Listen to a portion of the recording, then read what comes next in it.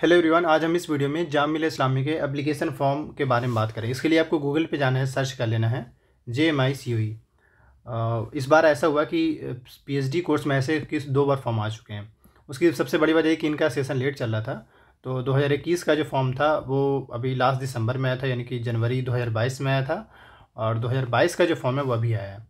तो ये लेट ज़रूर हुए, लेकिन अच्छी बात यह है कि जामिया बार बार जो है अपने एकेडमिक सेशन ऑन टाइम कराने की कोशिश में, ये बड़ी बात में से एक है। चलिए, उसके लिए सबसे पहले आपको जामिया का official website that J M I C U Google पर जाकर सर्च करेंगे। तो इस तरीके का आपको आइकन दिखेगा। जैसे जब इस पर क्लिक करेंगे तो एक न्यू आइकन इस तरीके से ओपन होगा। ये अब इसके ऑफिशियल वेबसाइट पर आ गए और जो भी अपडेट्स आते हैं, आपको यहीं दिखेंगे, इसके अलावा और कहीं और नहीं दिखेगा। अब अगर आप इस पर देखेंगे तो ये देखिए, यहाँ पे स्क्रॉल हो रहा है, यहाँ पे ये नोटिस करेंगे। तो इसके बिल्कुल टॉप पे आपको दिखेगा, जिसे यहाँ पे देख सकते हैं।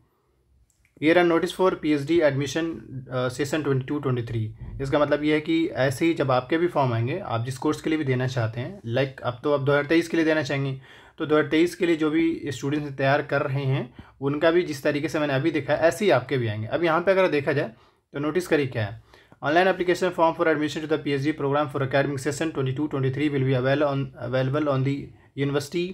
examination website that is jmicuv.in.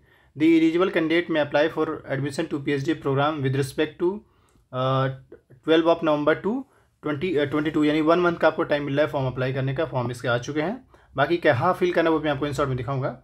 लेकिन उससे पहले बताऊँ please note that only those candidate who pass their qualifying examination or on or before the academic session twenty one twenty two are eligible to apply for the P H D admission the session क्या बक रहा है भाई?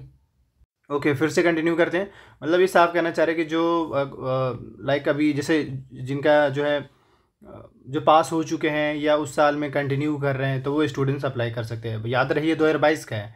2022 के हिसाब से देखा जाए तो जो 2021 में पास हुए या फिर इक्कीस में पास वही एलिजिबल हैं और 2022 के मार्च में होंगे वो मतलब इसमें एलिजिबल हैं।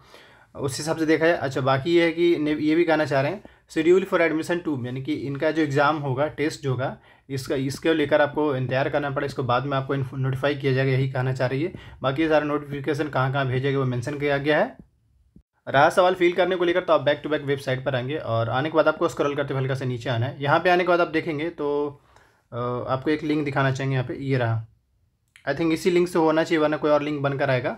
अभी तो टाइम है वैसे, क्योंकि उन्होंने ट्वेंटी टू का टाइम दिया तो अब तक हो सकता है लिंक आएगा। इस पर जाके और यहाँ से ही अपना फ्रेश अकाउंट बनाकर आप कर सकते हैं। लेकिन अभी फ़िलहाल घबराई नहीं। अभी इंतज़ार करिए टाइम आने का, उसके बाद करिएगा। जैसे आएगा आपको इस पर वीडियोस बना करके अपलोड कर दिया जाएगा। बाकी कोर्स के फॉर्म को लेकर अपडेटेड रहना चाहते हैं, इस चैनल को सब्सक्राइब कर लिए। फ़िलहाल पीएचडी का फॉर्म आया था